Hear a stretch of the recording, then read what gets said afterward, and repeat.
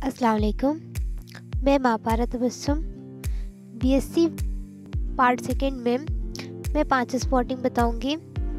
जिसमें बेलानोग्लासस हर्डमेनिया pyrosoma एम्फॉक्सस AC पेंसर वगैरह होंगे। तो सेम वैसे ही आपको लिखना है, जैसे कि आपने बीएससी पार्ट वन में लिखा था।